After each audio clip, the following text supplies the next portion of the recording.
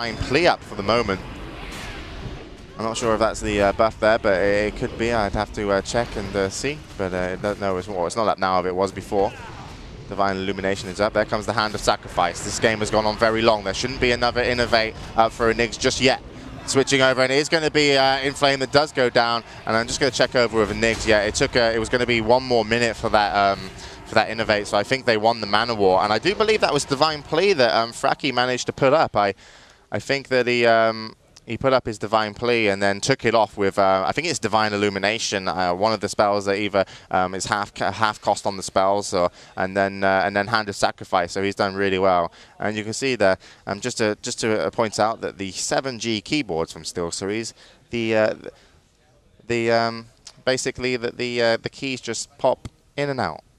Yeah, see, you can just pop them out, and look how easy you just you pop them back in. Child could do that, isn't that fantastic? Yeah. what, what a great feature.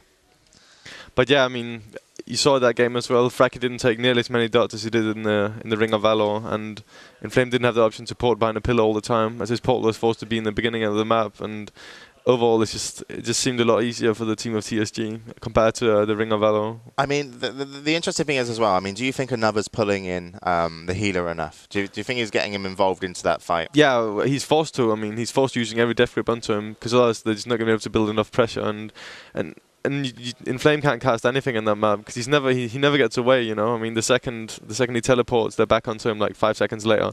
And one of the times that he even had a health funnel, that one second he does have that his pet was just going to go down. So it's really important that he gets the pressure up when he does have the opportunity to. But sometimes he just can't do it. I mean, there's just there's just no time and yeah, it must be really frustrating, especially playing the DK as another does. Yeah, I mean, you, I mean, you must feel like helpless sometimes. I mean, there's not a lot you can do. Nunez got a weird option as well because if he pulls in Enigs and the and the portal comes in, then Nunez stuck. He cannot get back onto Inflame. Yeah, exactly. But pulling in Enigs could be a really good thing at, at points in the game when he hasn't got um, you know hots up on him. You just pull him into the center. A Blade Storm could be devastating for him and another, and then it wouldn't even matter what kind of dots um, Inflame's going to put up on the end of that because uh, maybe the damage will be too great.